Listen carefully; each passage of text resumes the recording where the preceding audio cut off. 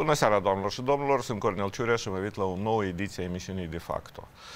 Uh, viața politică uh, prinde turații din ce în ce mai mult. Uh, ieri a avut loc întâlnirea mult așteptată dintre vicepremierul pentru reintegrare Alexei Rebrean și așa numitul ministru de externe al Transnistriei, Vitalie Ignatev. Acolo s-au pus în discuție teme legate de introducerea taxelor vamale de către Chișinău, un subiect mult discutat. Uh, asupra căruia vom reveni în această emisiune. De asemenea, ne-a atras atenția și scrisoarea uh, unor ONG-uri de media care critică uh, deciziile luate de guvernare cu privire la uh, suspendarea licențelor de emisie a posturilor de televiziune după data de 29 decembrie și acest lucru vrem să-l punem astăzi în discuție și alte teme este Davosul, reuniunea la uh, Davos, uh, care nu poate să nu fie luată uh, sub lupă.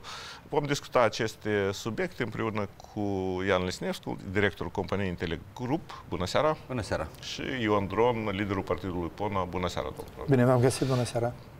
Eu propun să abordăm uh, din start tema Transnistria. Este probabil subiectul cel mai greu. El a fost în vizorul uh, presei mai multe zile, pentru că Chișinăul a introdus uh, noul cod vamal, taxe vamale pentru agenții economici din Transnistria. După reuniunea de ieri dintre Ignatiev și Serebrean, cumva acest subiect pun, poate na, această disensiune nu a fost aplanată, au răsunat cifre un pic diferite. Chișinăul spune că această povară nu este foarte mare pentru agenții economici și ei sunt puși în condiții egale. Uh, Ignatev spune că este cumva o restricționare a a agenților economici din Transnistria. Cum ați văzut, domnul Dron, această dezbatere dintre Chișinău și Tiraspol? Uh, mai mulți uh, experți, comentatori spun că totuși Chișinăul se pare că cumva uh, Uh, dorește să un pic să pună presiune asupra teraspului, pe de altă parte Chișinăul neagă spune că nu vrem condiții egale pentru toți. Sunt câteva principii care trebuie să respectate. Uh, și atunci când se încalcă principiile, avem ceea ce avem. Obișnuim de regulă să uh, acționăm conform unor tactici. Principiul general este că uh, legea trebuie să corespundă timpului, locului și spectrului de probleme. Această decizie a Chișinăului cred că poate și dacă trebuia să vină, nu e la locul ei. O a doilea, pre... Da. o a doilea, bun, în, în, în această fază, să-i spunem, tulbure care uh, ne aflăm noi, pe de o parte, tensiunile pe interior care cresc ale societății, pe fundalul sărăciei, pe fundalul uh, acestui pericol de război, adică de uh, transfer a uh, luptelor de acolo și teritoriul Republicii Moldova, când se vin cu astfel de, de acțiuni, te trimit acolo în zona speculațiilor. Cu atât mai mult că avem și o guvernare care nu prea obișnuiește să discute cu cetățenii, să-i explice lucrurile aici, de principiu, nu e momentul potrivit. Un al doilea principiu, legea trebuie să fie egală și preferințele nu trebuie să existe. Legile sunt adoptate pentru păi, toți. Și nu asta a făcut. Da. Dacă Transnistria este recunoscut de către Republica Moldova, teritoriul Republicii Moldova, atunci când a fost acordată acea facilitate pentru uh, companiile din Transnistria de a nu plăti, trebuia explicat de ce preferențial uh, au agenții economici de pe malul stâng sau de pe malul uh, drept a, a, al Prutului, de ce preferințe în general au investitorii străini în raport cu investitorii naționali, lucru care la fel nu se vorbește. Lucru care nu s-a făcut atunci și era necesar, poate, pentru apropierea malurilor, fiindcă după încetarea uh, focului de acolo uh, începe integrarea, la nivel, să-i spunem, uh, relații cetățean-cetățean, la nivel de integrare economică, trebuie să fie o perioadă, să-i spunem, de grație. Doi ani, un an jumătate, aveți posibilitatea de a vă integra, sunteți scutiți, trebuie să reveniți pe, uh, adică în condițiile în care uh, funcționează și agenții economici. Faptul că nu a fost acest coridor de un an sau doi, au și trezit aceste discuții acum, nu la locul potrivit și atunci când a fost adoptată, nu a fost adoptată în conformitate cu neprincipii. Adică nu, vă, nu vă miră faptul că transnistenii au reacționat cum au reacționat. Da, ei da. au reacțiile ar fi fost altfel dacă Chișinău atunci când a adoptat trebuia să stabilească o perioadă de grație. Există derogări de la lege, există derogări de la principii. Prin urmare, de la principii în general nu există derogări. De la lege se, se admit derogări aici în Republica Moldova, frecvent. Trebuia să fie prin derogare de la lege, în condițiile în care acest lucru nu au fost făcut, derogarea să fie făcută pe perioada pe câtă perioadă să faci. De aici și stârnit aceste condiții da. ne la locul potrivit.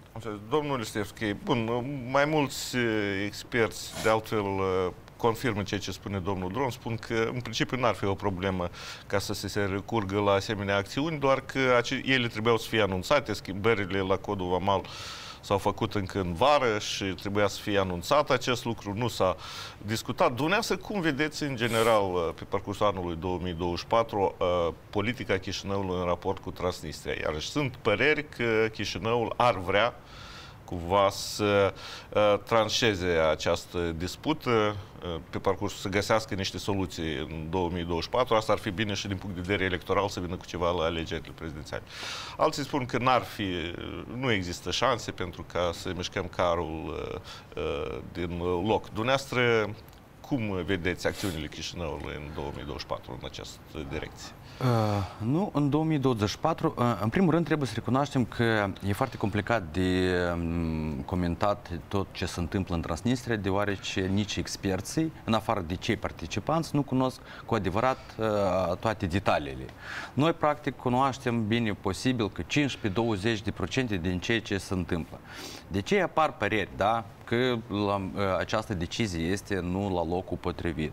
Pentru că, dintr-o parte, da, trebuie să fim toți egali, dar mie îmi pare că totuși este ceva la mijloc. Adică această decizie a ieșit posibil că din uh, discuții sau din negocieri la alte aspecte. Pentru că, iarăși, și cu alte evident, părți. Și cu alte părți. Noi mm-hmm. am văzut unele mișcări din partea Ucrainei, noi am văzut unele mișcări din partea Chișinăului. Chișinăul, apropo, este foarte atent în comparație cu Transnistria încearcă să fie profesionist. Da, sunt multe declarații care cumva stârnesc uh, neînțelegerea sau această tensiune și probabil... Atent în dialogul cu Tiraspol. Uh, atent în dialog, anume Departamentul de Reintegrare. Da, mm, au fost mai multe declarații altor politicieni, altor miniștri care cumva uh, ridică tensiune, tensiunea între Chișinău și Tiraspol uh-huh. și mie îmi pare că probabil și aici cineva se folosește de această tensiune politică. Problema politică între Transnistria și Chișinău era ocazie să fie rezolvată și în 2022 și 2023. Aceste lucruri erau posibile și sunt posibile. dar, cum și-am zis, este nevoie de dorință și la mijloc încă este spațiul cel economic gri care există în Transnistria, care încurcă la aceste lucruri, pentru că, iarăși, Transnistria colaborează foarte bine cu Ucraina foarte bine cu țările Bun, europene. Aici aveți dreptate. Noi nu știm acest lucru foarte bine. Ceva s-a vorbit despre calea ferată, despre transportarea mărfurilor, dar și cât de bine... lucru s-a întâmplat Dar în același ce... timp segmentul este blocat? Segmentul este blocat și bine, noi primim doar o parte din informație. Că, de exemplu, nu de mult, da, Ignatenko a fost chemat în Ucraina, adică Ignatiev, Ignatiev, da. da, Ignatiev. A fost chemat de partea ucraineană, precum el este cetățean și ucrainean, dar practic toți în conducerea Transnistriei sunt ucrainieni. Mai mult ca atât, ei sunt și români.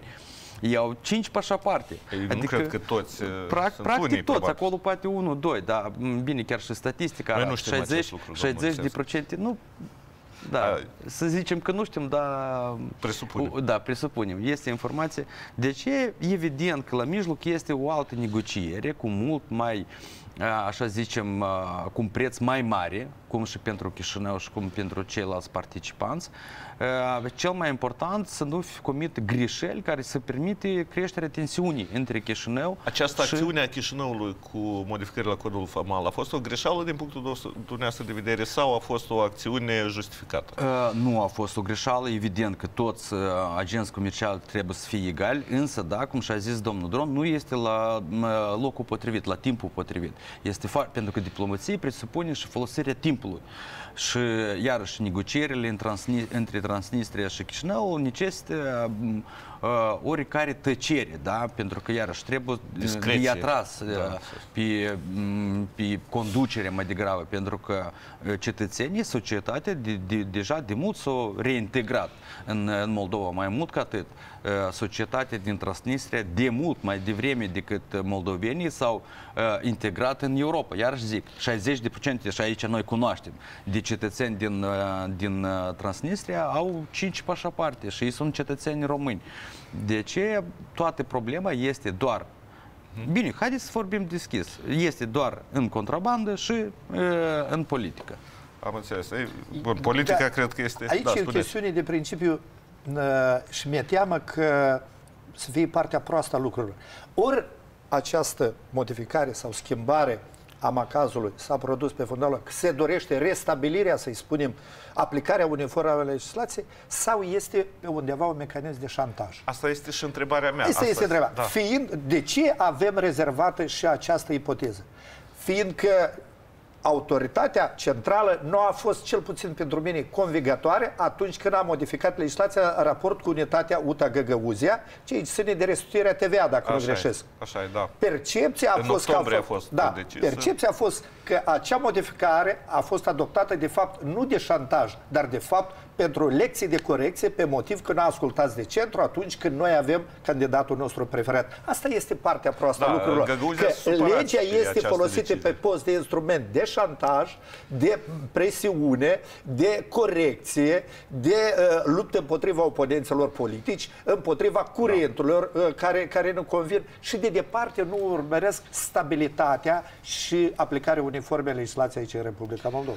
Totuși, în cazul Transnistriei, domnul Serebreanu astăzi a făcut niște precizări. El a spus că asta nu va afecta foarte mult agenții economici, pentru că taxele vamale uh, sunt mici, având în vedere că comerțul se face cu Uniunea Europeană, acolo e acord de liber schimb și nu uh, Chestiunea cu... nu e în bani. Da, Chestiunea- dar pe, pe transnistrieni îi deranjează un pic și banii, că ei dau niște sume mai mari, că ar fi vătămați într-o proporție mai mare. Totuși, mi s-a părut e adevărat ce spune domnul Lisnevski, că discursul uh, vicepremierului pe reintegrare e destul de împăciuitor, cel puțin așa pare la prima vedere, dar uh, ipoteza aceasta de, la care v-ați referit, domnul Dron, cred că și ea stă în picioare, sub forma unei întrebări, dorește Chișinăul să pună presiune suplimentară pe Teraspol sau nu. Asta vom vedea, cred eu, pe parcursul anului. Uh, și vom reveni la acest subiect. Acum, o altă temă pe care am anunțat-o uh, ține de reacția unor ONG-uri. Noi ne-am cam obișnuit pe parcursul anului trecut, așa să mai lansăm uh, anumite critici la adresa ONG-urilor. Totuși, ele nu tac și observăm că au criticat guvernarea. În primul rând, 17 organizații non-guvernamentale au cerut retragerea proiectului de lege care prevede excluderea obligativității a votării în procedura de selecție a procurorului general. Deci, din câte am înțeles, ei insistă pe varianta a- acordării de punctaj, pentru că acum se pune, uh, se dorește pur și simplu ca procurorul general să fie votat de către uh, cei care votează. Uh, și, de asemenea, mai multe ONG-uri, 8 am impresia, au semnat o declarație prin care declară că noul mecanism de suspendare a licențelor posturilor TV, TV a fost elaborat într-o manieră netransparentă și că până la 29 decembrie 2023 autoritățile au ținut în secret mecanismele juridice pe care inten- intenționează să le implementeze în pofida tentativelor presii de a afla informații. Deci critică guvernarea pentru lipsa de transparență și pentru utilizarea și pentru e, ingerința în uh, presă. Um, Domnul Dron, știu că uneori ați mai criticat ONG-urile. Cumva s-au reabilitat ele prin aceste acțiuni uh, și cum vedeți în fond această discuție care deja în contradictorie se poartă între ONG-uri și guvernare? Eu nu am criticat ONG-urile, fiindcă și eu uh, 10 ani de zile am fost pe această platformă uh, ONG-istă. Uh, Există trei tipuri de ONG-uri în Republica Moldova. Sunt ONG-uri care fac munca zi de zi cu carnetul de muncă aici la statul Republica Moldova, se descurcă fără ajutor din exterior și încearcă să schimbe niște lucruri.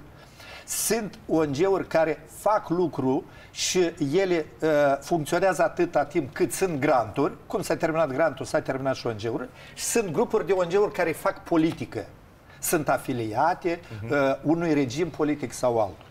Uh, Ați spus 17, de regulă acolo erau 18 organizații, ele reacționau. Între timp se vede că a căzut una. Că, uh, Asta, eu urma- la juri, da, 8 erau 9. nu, nu, la el presă, în da. general vinea grupul ăsta, erau 18 Pe teme juridice. ONG-uri. Da, da. Nu, da, când era vorba de juridic, când era, el erau 18. Acum, cred că cea din Găgăuzi a, a decăzut. Uh, Era o organizație și de acolo. Uh, Cunosc manevrele astea care se fac. E mai degrabă o reglare de conturi pe interior între guvernare și aceste ONG-uri care au fost până la urmă uh, acele megafoane care prin toate platourile și prin toate mijloacele au făcut ca această guvernare să se comporte așa cum se comportă. Totuși, acum ei uh, nu sunt de acord cu... Da, eu vă zic, e o chestiune de reglare între ONG-urile care susțin a, acea, acest regim uh, și nimic mai mult. Și nimic mai mult. Aici mă înțeles. opresc. Fiindcă despre aceste uh, derapaje, uh, cei care nu fac parte din aceste organizații au vorbit încă de anul trecut. A, vă referiți probabil mai mult la mass media. Sunt, sunt organizații, da, sunt organizații care le port absolut respectul și fac m- multe norme, dar există și oameni care folosesc acest spectru în uh, reglările de conturi care apar pe de o parte și, și, și de alta. Dumneavoastră veți observa că acolo sunt ONG-uri care cu jumătate de an, dacă ne mereai într-un platou, cu un uh, propagandist din acest ONG, erai desființat. Erai trimis în zona lui Putin, erai trimis în toate zonele, conserve FSB-iste. Astăzi, vezi, domnule, s-au trezit că uh, Păi e bine că s-au mecanismul trezit. ăsta- E bun, dumneavoastră sus, nu, îi suspectați. uh, nu trebuie să fim izuiți și uh, trebuie să, și să fim oportuniști. Consecvenți atunci când este vorba de respectarea unor principii. Indiferent de ce culoare este cel care a venit la putere, el trebuie criticat. Am înțeles. Dacă cu adevărat nu ești oportunist, dar ești Bun, și adeptul lăudat respectării dacă unor principii. ai făcut da. ceva Eu bun. nu zic că sunt oportuniști, Doamne ferește, unii fac muncă bună, alții fac muncă de partid, acum probabil ceva s-au supărat. Da, do- domnul Știnescu, dumneavoastră cum a, a, a, nu v-a surprins această reacție ONG-uri cumva concertată? Pentru că și pe subiecte juridice și pe subiecte de mass media au fost reacții critice la adresa guvernării. Uh, În general, cum vi se pare această colaborare, confruntare între stat și ONG-uri? Nu, bine, nu mă surprins, uh, deoarece ONG-urile permanent se orientau la informația uh, din țările europene, da? Uh, și mai multe instituții de stat europene deja cumva au dat o notă negativă. Ceea ce s-a întâmplat cu alegeri, ceea ce s-a întâmplat cu domnul Stoianoglu, ceea ce s-a întâmplat cu mass media. De ce, evident, aceste ONG-uri probabil că au încercat să cumva să reacționeze, să susțină acea informație din țările europene, din Uniunea Europeană și cumva să aducă la guvernare. Eu mă uit la aceste lucruri sceptic. De ce? Pentru că uh, la capitolul din mass media, aici să mă opresc mai mult, uh, se vorbește despre războiul hibrid și, m, practic, tot acest război se oprește iarăși la mass media. Uh, Eu cunosc experți care au scris doctorantură, care uh, m, sunt aplicați în această temă de vreo 20 de ani și oricum pentru dânsi este mai complicat da, să cumva să elaboreze unele mecanisme de luptă cu războiul hibrid. Bun, el se Repu- lucrează, în patriot, Republica ce- Moldova m, noi nici, niciodată n-am lucrat la acest capitol, adică nu avem experiență și aici ar trebui. Sau de luat lucrările deja experților internaționali, Apropo, și cumva posibil de, de chemat, de arătat cum acest lucru funcționează, pentru că în acest lucru cel mai important să nu fie emoții. La noi toți participanții au emoții, simpatie sau, sau uh, antipatie față de acel politician sau alt politician. Acest mecanism la noi nu poate funcționa în condițiile Cel care, creat astăzi. care astăzi. Mai mult ca atât, uh, și ONG-urile aceste lucruri au observat și partenerii europeni au observat că au suferit mai mult televiziunile și uh, mass media care a rămas. Pentru că uh, În ce anume sens a în rămas? aceste Unde a emisiuni rămas? uh, în ace- a, a rămas uh, cu licență, deoarece societatea anume în ei a pierdut încredere. Mhm. Deoarece ei au r- rămas cu, cu licență, înseamnă că sunt pro-guvernare, Domnul Știnescu, pro-partid. sunt sondaje care arată acest lucru? Da. Sunt sondajele și noi am, uh, practic, fiecare an uh, analizăm această situație din 2001 până în 2000, uh, 2021 până în mi- uh, 2022. Încrederea în televiziuni, uh, de că după ce a fost închisă șase televiziuni, dacă nu greșesc, a, cres, a, a La căzut... sfârșitul anului 2022. am Da, impresia da, că a da, a căzut dublu. adică dublu încrederea în televiziune a scăzut, deoarece au rămas unele televiziuni, da, ei nu, nu sunt a partidului PAS, dar lumea aprecia că sunt a guvernării, de aceea și funcționează.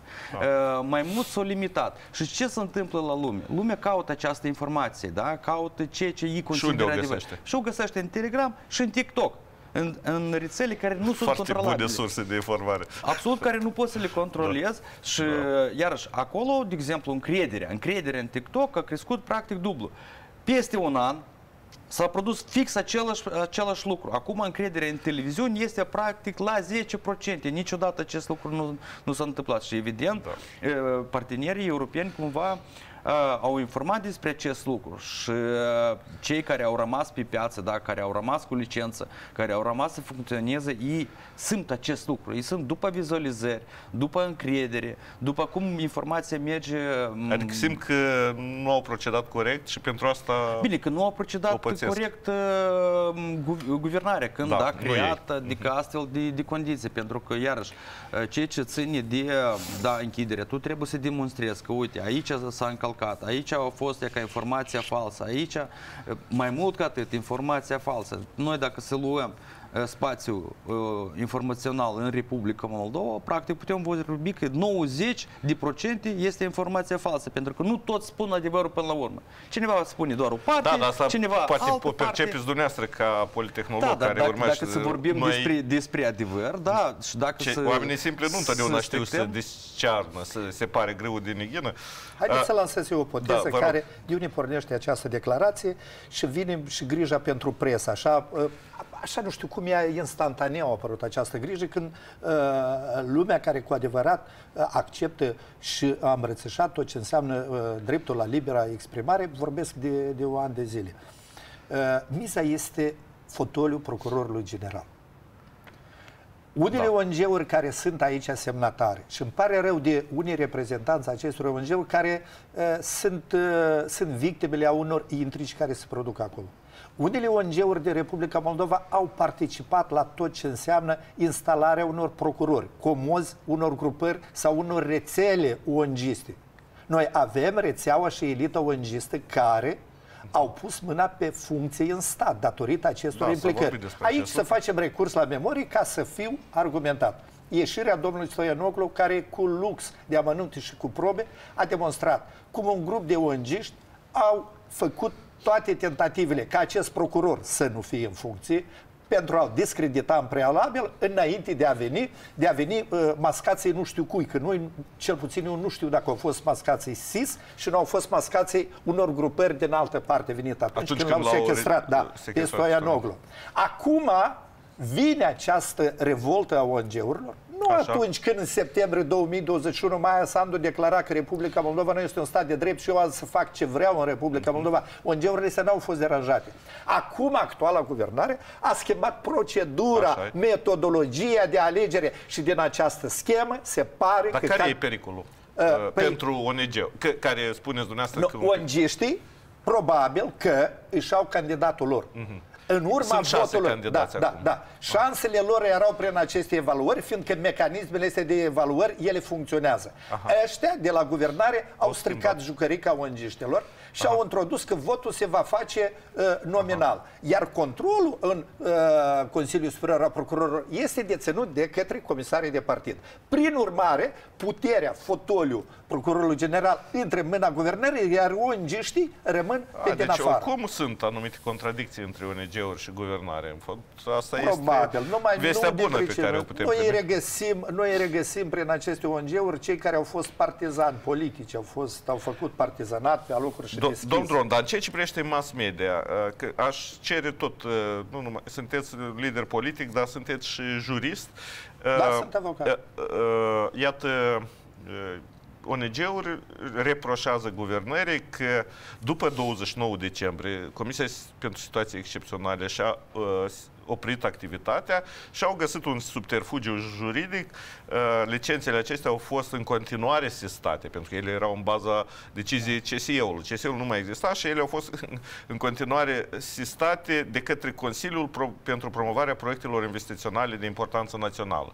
Și ONG-urile reproșează că, bun, este o procedură netransparentă care nu prea este, uh, n-a fost agreată în comun. Cum de ați reușit așa? Vreau să ca jurist, cum vi s-a părut acest subterfugiu sau chichiță juridică? ONG-urile care, cu adevărat, uh, respectă sau, iarăși, mă repet, îmbrățișează tot ce înseamnă libertatea, au luat atitudini de mult. Fiindcă nici comisia uh, stări excepționale nu avea acest drept. Eu am vrut să aud vocea acestor ONG-uri atunci când a fost adoptată de comisie specială. Fiindcă, clar lucru, încă o dată, e o dovadă a faptului că este o chestiune la mijloc Dar de interes. mai bine mai târziu decât niciodată. Nu, nu, nu întotdeauna. Da? Nu întotdeauna, da, nu întotdeauna. Uh, fiindcă se încearcă de a manipula opinia publică, Asta înseamnă îi găsesc momentul oportun pentru a-și spăla ceva și a veni spălăței și curățăi în spațiul public. Nu, ei au fost părtași în marea lor parte, ei au tăcut atunci când vocea lor trebuia auzită. Comisia pentru stări excepționale nu are astfel de competență, iar aceste derogări sunt grave, sunt neproporționale și acolo sunt juriști care înțeleg ce înseamnă Am proporțional înțeles. și neproporțional, dar ei au tăcut, fiindcă le-a convenit atunci când mai veneau banul, mai veneau granturile. Acum s-au subțiat granturile în Republica Moldova și bătălie pentru acest tort mic care există. Cei de la Procenta. guvernare și-au ONG-știi lor și prin urmare micul de granturi care vine aici e bătălia ONG-urile care sunt mai aproape de Domnilor, putere. totuși, bun, și cu asta propun să încheiem această temă, am văzut că nu toate ONG-urile de Nu, dar este media au necesar, semnat- fiindcă în țara asta toți poartă răspunde. Liderii politici Evident. pentru starea lucrurilor, dar formatorii de opinie și ONG-știi care participă și fac partenizat, ei nu sunt responsabili de nimic, practic. Bun, uh, Apropo, mulți dintre ei fără carte de muncă la statul Republica Moldova. Da, da. Uh, Bun, este și libertatea de exprimare. Uh, Haideți să abordăm și tema, uh, o altă temă intens dezbătută, după asta am să vorbim și despre viața politică, despre viața partidelor politice în Republica Moldova, dar nu putem ocoli și nu l-am comentat subiectul plecării președintelui Maia Sandu la uh, Timișoara. Acolo i s-a înmânat un premiu de 30.000 de euro chipurile, acești bani, bun, probabil au fost colectați de oamenii de afaceri din Timișoara, deși nu, nu prea mi este clar. Uh, imediat această uh, știre a fost uh, cumva luată în colimator și experții au început să critice, unii dintre experți au început să critice și au spus chiar că ma, uh, președintele nu poate lua asemenea cadouri. Sunt bani, astea sunt cadouri. Chiar dacă sunteți domnul dron jurist, eu propun domnul Lisnevski la început să comenteze acest lucru. Cum vi s-a părut această știre? Unii s-au bucurat pentru Maia Sandu, că de poate salariul la președinție nu este chiar foarte mare și aici ar fi un spor pentru ea că este o persoană destul de modestă, alții din contră au spus că e cam mult și pare, miroase a mită aici, a corupție ascunsă. Uh, nu bine, oricum a fost acest cadou dat transparent, Uh, nu știu toate procedurile cum se procedează cu cadouri, dar cumva ei rămân sau la președinție, uh, dar nu vreau să supăr pe juriști, pentru că în Republica Moldova de mult nu se respectă legea, absolut, adică um, în fiecare domeniu. De ce mi se pare că să analizăm din punctul juridic, nu vă supărați. A, do- eu am să rog dar pe domnul Dron să dar facă cred acest că lucru. aici este inutil, Dar nu pentru e că un caz niciodată juridic nu, aici, nu e un caz juridic. Nu, uh, Aha. ce ține de politic, Da, din punct de vedere etic, Uh, etico-politic. S-a dat, e etică, că cultură- într-o țară străină, mai Sandu i s-a dat 30 de mii uh, pentru promovarea valorilor europene. Doamna Maia Sandu chiar uh, în, în interviu după asta, să încerc să fiu cel care apără, chiar a zis că ea este cetățeancă română, mm. de ce pentru dânsa este o valoare, că a fost apreciată de, de români. De ce eu uh, mă mir de experții care o critică, deoarece nu au știut acest lucru, acest lucru a fost știut și în campanie electorală și el zicea despre acest lucru, că nu, nu ascundea că este cetățeancă Un, româncă. o expertă anticorupție a spus că orice oferire de bani funcționarului public este un act de corupție. Este Adică corupție, dis- pentru că uitați-vă, la noi totul doar granturi uh, sau credite, ele de fapt sunt folosite și în războiul hibrid, numai când asta vine, de exemplu, bun, din pe ascuns Uniunea aici. Euro- European, asta este ok, dar când vine din partea Rusiei gazul, asta este războiul hibrid. Dubli standarde. De aceea, aici noi, noi deja trăim în aceste dubli standarde. Din aceste dubli standarde este un lucru normal pentru doamna Maia Sandu și e clar de ce el o face. Deoarece... Da, dar nu este bu- un lucru normal pentru cei care nu sunt de acord cu standardele duble. Da, da, Eu dar nu vreau gata, standarde nu- duble. Ele deja vor exista. Noi nu putem nimic să facem. Deja, gata, noi suntem în această Nu, nu, stați, în că această nu, noi nu lume. ne împac. Eu, nu cel este puțin, posibil. ca moderator de emisiune, nu mă împac cu standarde duble și uh, aș vrea să le cumva... Asta e bine, asta Da. e bine, dar bă, ca să nu fie aceste standarde duble, noi trebuie și la guvernare, și în Parlament, și la președinție să fie profesional, pentru că un profesional Da. nu, pe- nu niciodată nu nimerește în această capcană. Se discute despre aceste premii, se discute despre aceste cadouri și deja se dă unele m, m, luare decizii. Doamna Maia Sandu sau cine a consultat, eu înțeleg, ei se vor axa anul acesta și pe segmentul bazinul electoral unionist. De ce? De ce? De astfel de premii încă vor fi. Adică vor arăta că, practic, doamna Da, da, da. Maia Sandu este Bun. politician român și unioniștii trebuie să, să, să Aha, să susțină. primească Pentru- bani, ca do- premii. Dar, domnul Dron, uh, aș vrea uh, totuși un pic să comentați și aspectul juridic, pentru că fosta vicedirectoare a CNA a, a declarat următoarele. Banii nu sunt cadouri admisibile. Nu au voie să primească așa cadou, cadouri demnitare de stat, dar și partea asta politică. Dumneavoastră cunoașteți realitatea de România. De ce, din punct de vedere politic, uh, e nevoie ca să fie premiați, uh, premiată președintele statului?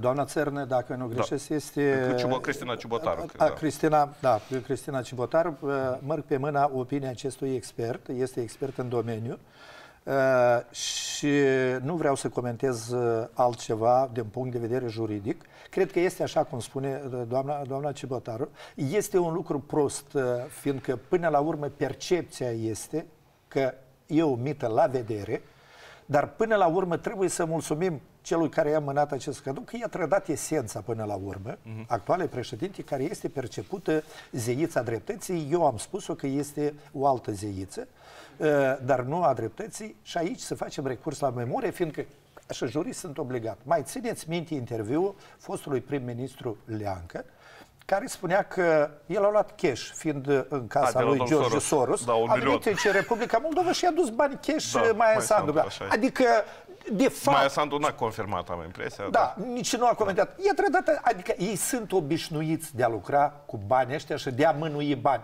Ăștia au încetat o schimbare, au venit vremea. La felul cum ne votează lumea asta, uh, noi putem să ne permitem orice. E o sfidare până la urmă a bunului simț și a unor rigori care nu sunt admisibile într-un stat civilizat cu niște oameni care pot să sancționeze în secunda 2 astfel de gesturi ale politicienilor. Am înțeles. Și ei beneficiază de indulgența, de naivitatea cetățenilor și pentru asta trebuie sancționați. Fiindcă astfel de gesturi nu se fac la vedere. Dar de ce totuși în... uh, Fiindcă este admisibil să mergi cu plicul. Ei transmit mesajul că poți să mergi cu plicul. Că nu o să spună, domnule, doamna președinte a dat plicul, voi nu ați sancționat-o. Ce mă sancționați Era pe un mine? premiu, domnul Dron. Nu, să mergem Premiu până, pentru până la promovarea- logica primitivă, fiindcă percepția, să cultivă o percepție. S-a mers pe, funda, pe, pe formula că nu este stat de drept, de la statul de drept am trecut de a lua plicurile în public. Dacă venea acest premiu, se anunța premiul Nobel, este cu totul altceva. Dar când vine un premiu obscur, Da, nu e știu pentru de prima unde, dată când se oferă și nu știm, poate va Da, fi și ultima da, dată. de fapt, Nu, cred că bine, nu se vor folosi banii, dar uh, astfel de premii oricum vor fi, iarăși, repet.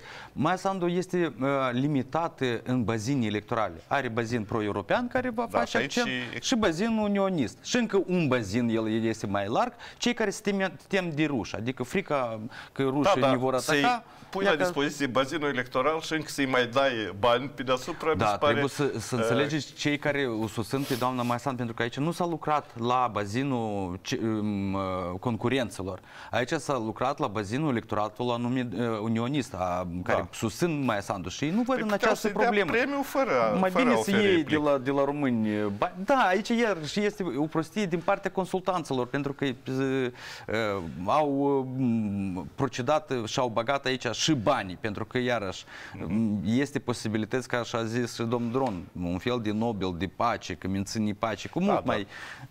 Cred că trebuie să adresezi la alți consultanți posibil. Am înțeles.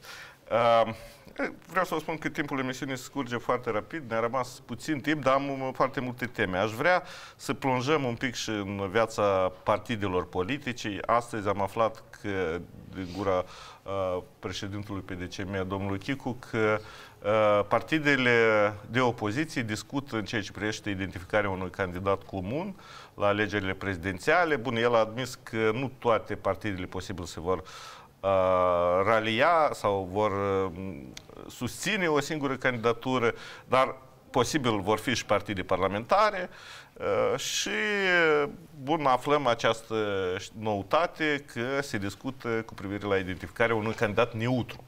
Domnul Dron, știu că, așa, m, părerea dumneavoastră, m, pentru că ați fost implicat în asemenea tip de discuții. Uh, Da, știu ce, cre- ce, ați- ce credeați despre agenda comună. Acum ve- vedem că din nou se leagă asemenea tip de discuții. Uh, Ce șanse, din, pornind de la experiența pe care o aveți, uh, sunt în această privință? Le doresc succes. Vă rog să mai comentați un Da, pic. le doresc succes. Din punctul meu de vedere, eu spun, este un amatorism. De ce? Eu Partidele ser- trebuie să discute. A, Eu nu sunt politician, eu văd lucrurile altfel decât uh, tot respectul. uh, Declarația asta cred că trebuie să o comenteze domnul Chicu. Eu nu am de gând să comentez. Nu, nu, eu eu nu nu co- sunt declarația, politician, da. văzând de la o parte, eu văd, este un amatorism, uh, dar eu bănuiesc și candidatul care este, îl știu. A, îl știți? Da. Dar nu ne spuneți. sau Da, nu? nu-l spun, că vă Aha. spun după emisiune, vă las Fițuca și o să vedeți. ce Vă rog. o să fie. Cam Adică- ați stat și la lansarea lui. Aha. Da. Aha. Bun, domnul Dron, o să, cel puțin după Da, emisiune, să- lansările se fac așa, bă, indiscret, așa, bă, te invită la lansări, așa că te iau de fraier, că nu înțelegi Domnul ce fel Chicu de a spus lansări. că sunt. nu Eu este- Mhm. merg la orice, sunt invitat pe stânga, pe dreapta, dar văd ce se întâmplă acolo și în alta. Am Uh, Eu mi-am spus uh, Da, părerea un mea, candidat- dar le doresc succes. Un candidat neutru ar avea șanse? Eu nu înțeleg ce înseamnă candidat neutru. Iată, atunci îl întreb pe domnul Lisnevski cu ce trebuie opoziția, dumneavoastră sunteți politehnolog, e un proiect interesant să identifici un candidat neutru, mai multe partide, inclusiv cele parlamentare, și să-l uh, arunce în luptă împotriva, presupun, Mai Sandu. Da, este interesant. De ce? Pentru că pe, mi- pentru mine ar fi și interesant uh, uh, metoda și soluțiile de discuție acestor partide. Pentru că în Republica Moldova, cu părere de rău, deja e ca 10 ani, eu nu văd această cultură politică care să permite politicienilor cumva să așeze la o masă rotundă, să negocieze, să găsească un, uh, uh, o idee comună și deja să uh, adune electoratul sau să unească electoratul asupra ideii. Da? Și este un lider care duce această idee. Dar ac- experiența agendei comune, pentru că a existat, nu vi s-a părut una feri, reușită? Nu, da? de, deloc nu reușită și iarăși, în momentul când sunt participanții care au ca sarcină distrugerea uh, acestei Aici să idei, rămânem la distru- distrugerea agendei din interior s-a dorit. Am înțeles. da, Da, atunci o să- cam e complicat uh, acest lucru. Adică dumneavoastră, domnul Dron, eu îmi cer scuze, domnul Sex, v-ați uh, intuit existența unor, uh, îi se spune așa, sub, uh, actori sub steag fals sau unor Nu, nu, intruși. agenda a pornit bine, iar pe parcurs uh, au, uh, au venit manevrele pentru ca această agendă să, Dar să este nu normal meargă. în viața politică să E apară și normal, destabilizări. E normal, e normal. și- Eu mulțumesc că am fost acolo, am cunoscut pe mulți de unii și de pe ce, ce felieră vin. Da. Chiar le mulțumesc că au venit. A fost o Iar experiență. la Domnul, noi da. a devenit normal. E că noi ne întoarcem la, la, la viața de duble standarde. Pentru că, în mod normal, asta nu este normal. Pentru că atunci tu, când vrei să faci politică, tu trebuie să ai unele anumite reguli care să... să Da, dar e să normal le- ca dușmanii să încerce să te împiedici. Da, dar la noi s-a ajuns că, practic, în politica Republicii Moldova se implică doar tehnologiile politice. Dintr-o parte, da, pentru mine e bine ca un uh, uh, uh, tehnolog politic, dar din, pentru stat asta este destul de grav, pentru că din partea societății uh, dorința este mare. Să aibă un candidat care cât Este de așa cât dorință. Este dorință și care să fie șansele un candidat uh, comun, cu șanse da, împotriva... de opoziție, pentru că drept. societatea până ce încă nu vede opoziție. Există doar acolo unul, doi partide care încearcă să facă proteste, cumva să susțină societatea, oamenii și restul, opoziția a dispărut. Ea a devenit pasivă. Și de ce societatea are, de exemplu, aspect negativ față de guvernare și față de opoziție pasivă. Și atunci Deci, când... Dacă guvernarea este o problemă pentru societatea noastră, opoziția și ea este o problemă. Și ea este opoziție, pentru că uitați-vă ultimul sondaj. Adică cetățenii nu au încredere în guvern, dar când pe dânsă îi întrebi, dar sunteți gata să oferiți puterea opoziției? Nu. Pentru că ei așteaptă de la opoziție că opoziția să apere interesele cetățenilor. Da. Și la momentul dat eu știu și mâini vor fi discuțiile de a crea bine un centru comun a spectrului politic de centru. Uh, vor, se vor încerca că partidele de dreapta acolo tot să, să participe. Posibil că vor, Vor avea fi mâine, și ei și dumneavoastră un candidat. cunoașteți că vor fi mâine discuții pe Da, aceasta. va fi o masă rotundă, da, la care se, discu- se va discuta formarea unui Și centru. partide de dreapta și partide de centru. De centru, da. Aha. Vedem că aici domnul Chicu, da, el este cam de dreapta, de dreapta uh, Centru, centru dreapta, da. așa. Tot vorbește despre un centru. Pa- Apoi e, a fost și e, doamna Irina Blah cu astfel Mhm. de idei. Adică această idee, iarăși, vine din societate. Întrebarea dacă pol- acești politicieni vor avea posibilitate și capacitate, da, totuși să ofere Am această... înțeles. Domnul Dron, dar aș vrea să vă întreb pe dumneavoastră. Dumneavoastră sunteți sceptic și eu înțeleg de ce, deși nu cunosc numele uh, persoanei, dar față de aceea. Dar ce ar trebui să facă opoziția ca să evo- uh, evolueze bine la alegeri? Pentru asta ar trebui să fiu plătit ca consultant politic, dar nu sunt Am consultant înțeles. politic. Și ar trebui să E facă, răspunsul da, e foarte, îl primesc, îl accept și eu uneori uh, f- recurg la el, pentru că, într-adevăr, aveți dreptate. Chiar și dacă ai idei, nu e locul să, să, Da, toate să, ideile să, da, să să fie le lansez. în public. Da. Ok, de acord. Sunt Uh, avocat și orice consultație costă. Și atunci să vă întreb, uh, da, din punct, deja ideea a fost lansată și aici vă puteți pronunța, ideea referendumului în paralel sau în, la pachet cu alegerile prezidențiale lansate de Maia Sandu este pentru dreapta, în special pentru PAS și pentru Maia Sandu, o idee fericită? Ea are de câștigat de pe urma acestei idei sau este o idee riscantă care ar putea să aducă prejudicii inclusiv ideii europene? Aici părerile sunt împărțite și mi-e interesant să aflu și punctul dumneavoastră de vedere, domnul Dro. Eu am spus și o să repet, uh, cursul european uh, a fost descreditat de actuala guvernare într-așa măsură încât n-au făcut-o guvernările care au fost în ultimii 10 ani de zile.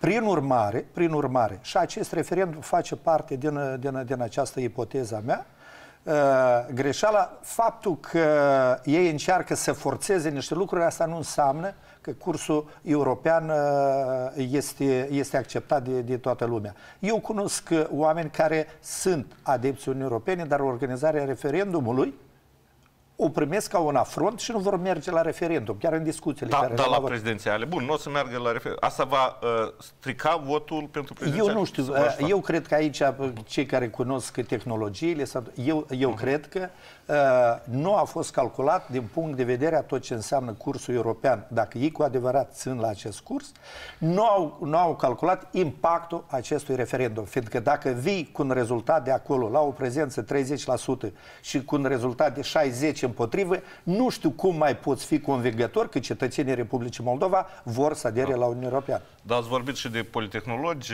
care au, un drept să se, au dreptul să pronunțe Da, în e această meseria privință. Da, uh, domnul Lăsnevski, dumneavoastră cum vedeți uh, Eu- această inițiativă? Eu nu sunt de acord că această guvernare maximal da, a discreditat vectorul pro-european, pentru că a fost cazul Am din văzut. 2014-2015, când uh, Furtul miliardului a afectat, evident, încrederea în partid pro-european. Da, dar unii spun că Maia Sandu și Igor Grosu erau atunci la, tot la guvernare. Da, bine, ei erau, dar nu erau lideri și oricum uh-huh. sub, sub 50% susținerea acestui vector pro-european a fost anume în 2015. Anume atunci a scăzut sub, 15, sub 50% susținere vectorului pro-european. Acum susținerea vectorului pro-european este 54 54-50%. Ei merge în jos cu adevărat și... Dar acest... fără diaspora, dacă aia este un factor care... Noi nu, nu știm dacă diaspora va fi activă. Ce s-a întâmplat? În mare parte, acest, această cale pro-europeană a devenit un segment electoral, un segment politic și societatea încer, începe deja acest lucru să înțeleagă. Pentru că în societate integrarea europeană este egală cu ridicarea nivelului de trai. În momentul când cresc prețurile la alimentare, cresc prețurile la servicii comunale, uh, atunci nu poți face asoci... adică să faci asocieri negative cu tema care promovează partidul de guvernare. Partidul de guvernare promovează ideea eurointegrării. Și se va întâmpla ceea ce s-a întâmplat la alegeri locale. Anume la alegeri locale noi am văzut Oamenii efectul, vor sancționa? Una că, evident, oamenii au sancționat pentru că oamenii în unele regiuni au preferat să aleagă, și bine, vă dau un exemplu, să aleagă un candidat care, bine, este, se vorbește din partea guvernării că este pro-rus sau pro-Kremlin.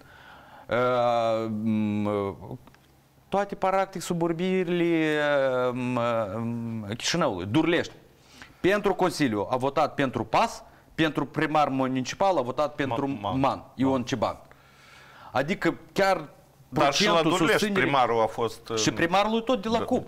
Da. Adică noi vedem că deja practic, vectorul pro-european, ideea aceasta, ea este afectată. Uh-huh. Referendum e straniu că au apărut, mi îmi pare au apărut din altele calcul, pentru că dacă vedem rezultatele sondaje, doamna Maia Sandu nu are ce să teamă în mare parte este liderul numărul 1, uh-huh. da, practic majoritatea nu au pe, pentru cine încă vota și este posibilitatea ca să apară un candidat care să acumuleze aceste 60-70 de procente care la momentul dat încă nu s-au decis pentru cine să voteze. Da. Și mi se pare că din riscurile acestea, cineva mm, a sfătuit... Deci pentru momentul dumneavoastră o cotați destul de sus pe...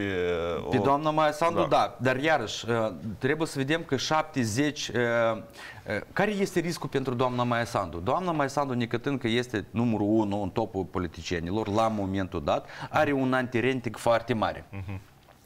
În momentul când uh, un partid sau un politician cu un anti-rating foarte mare abordează orice temă, el evident o discreditează. Ca să nu vorbim, da, să, să nu zic oamenii că ia că vorbim despre doamna Maia Sandu, exemplu uh, domnul Plăhătniuc, care aborda tema anti, antirusă.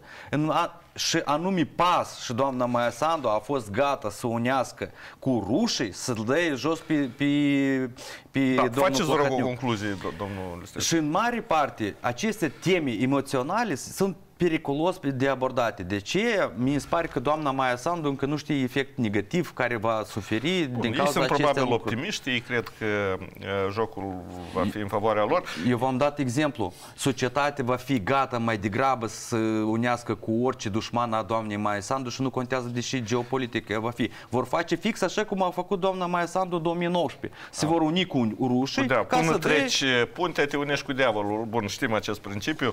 Uh, el uh, e destul de frecvent și în țara noastră. O ultimă întrebare, domnul Dron. Uh, urmăriți cu atenție viața politică internațională. Acum uh, premierul nostru se află la Davos, unde uh, se discută mai multe lucruri, inclusiv bani, dar se discută și tema Ucrainei. Președintele ucrainean Zelenski a venit cu un plan de pace din 10 puncte, la, da, care, bun, înțeleg că a primit totuși, n-a, n-a avut o primire foarte caldă, nu a vrut să-l discute China acest plan, uh, un plan în care nu există ideea cederilor teritoriale pentru Rusia și uh, un, acest plan este promovat de Ucraina. Uh, cum vi, vi se pare uh, această idee a păcii în anul 2024? Să vorbim despre Davos și vă răspund și la întrebare vorbesc despre Davos raportat la 2022. În 2022 să facem recurs la memorie, am avut două voci acolo. Am avut vocea lui Kissinger, care era, uh, să-i spunem, adeptul Partidului Păcii și am avut uh, vocea uh, filantropului infractor Soros. Pentru cei care nu cunosc, în 2002 în Franța el a fost condamnat pentru mașinările și ingineriile financiare care era reprezentantul Partidului Războiului. Astăzi, la Davos, la Davos avem o singură voce, vocea războiului. Și asta este partea da, proastă. Da, ceilalți, de exemplu, uh, ucrainenii vor să găsească, să comunice și americanii cu statele uh, BRICS care, bun, nu Eu prea... mi-am spus părerea. Astăzi Am avem înțeles. acolo numai o voce, o voce a războiului. Restul sunt, uh, sunt, uh, sunt, uh, sunt detalii care pot să le vadă fiecare cum le vede. Bun, Eu Davosul, văd este o prin vărsă de definiție, este Nu o am auzit reuniune a vocea statelor păcii. bogate. Da. Ceea ce se propune acolo nu este, nu este chestiune de Nu, la pace. Davos se ridică destul de interesante teme. Uh, Dar e război- o reuniune a Eu prin globaliștilor aspectul ăsta asta. v-am răspuns, prin aspectul. În rest, Davos este același ONG care parcurs a reușit pe alocuri să corupă și mari cinovnici care conduc astăzi lumea. Nimic mai mult. Da. Bun, e o reuniune a globaliștilor asta cu asta. Da, da. sunt de- Bine, Aha. ONG-știi au reușit să corupă marele, marele guvern. Am înțeles. Din domnul unele Sefcovic, țări. dumneavoastră. Bine, nouă ne pare că războiul mi se pare că tema principală Davos. Nu chiar așa, pentru Da, că... sunt multe alte teme, da. Uh, Multe Exact. alte, destul de interesante. Bine, evident, în anul acesta se așteaptă încă escalarea uh, conflictelor în lume, da, în ceea ce ține de Iran, Yemen, uh, va continua și cu Israelul, altele Da, m- cred, m- sperăm zone. că totuși nu va fi acest lucru. nu A, se va cu păreri de rău, uh, dacă să vedem cum se dezvoltă evenimentele, cu părere ră- de rău, Sunt acest șanse. lucru se va întâmpla pentru că, bine, în astfel de activități sunt bani mari. De acolo unde bani mari sunt interes. Pe mine m-a interesat altă, o apariție nouă posibilitate, apariția virozei X, iarăși. Eu Noi nu ne cunosc întoarcem nimic la despre pa- asta. pan- pandemie care a fost discutată. Este un subiect destul de interesant, fix așa cum a fost discutat în 2017, da, ce ține de COVID. Atunci, m, de ce e ca La, la ne Davos încerc- se discută acest lucru? Da, e, practic a, m, patra poziție, patra temă care, care se, este discutată este viroza X, așa este numită. Adică posibilă pandemie care va ucide de 20 de, de ori mai mult uh, oameni decât uh, COVID-19. Interesant subiect și eu consider iarăși aici sunt bani destul de mari. A doua, a doua inter- întrebare, da, și care, a, f- apropo, au ridicat și BlackRock, asta este tăchinarea finanțelor, adică noi trecem practic de la cash la bani, bani electronice și deja m, practic toate datele de date, baza de date va fi legate doar de cardul bancar într-un fel. Este bine, iar și o Bun, asta metodă este de agenda ușurință. globalistă. Așa o cum- ușurință m, trecerii banilor și aceste teme, de fapt, care se discută la Davos, ei dau tendință la următorii 2 ani. Pentru că ciclul cândva a fost de 4 ani, noi acum vedem că el se micșorează. Adică 2 ani pandemie, 2 ani război, e ca interesant Am și va înțeles. continua 2024-2025. Bun, uh, țin cont de faptul că a, știu că și domnul Dron uh, urmează acum să plece. Eu propun, poate cu un minut, două înainte de final, să închi- punem punct acestei emisiuni. Uh, Totuși voi spune că aceste idei pe care le se discută la Davos întâmpină din ce în ce mai multă rezistență pentru că uh, totuși se vorbește despre schimbarea ordinii internaționale și ceea ce vrea o parte nu neapărat, nu neapărat se va realiza pentru că rezistența din partea celelalte părți ale lumii este în creștere. Deci discuțiile vo- se vor purta în continuare nu numai la Davos, dar trebuie să existe un dialog între, să zic, sudul și nordul acestei lumi. Eu vă mulțumesc pentru participare la emisiune. Vă doresc uh, o seară bună în continuare. Știu că va trebui să lucrați în continuare. Uh, Eu mi-au rămas bun și de la telespectatori, urându-le o seară plăcută alături de cei dragi. La revedere!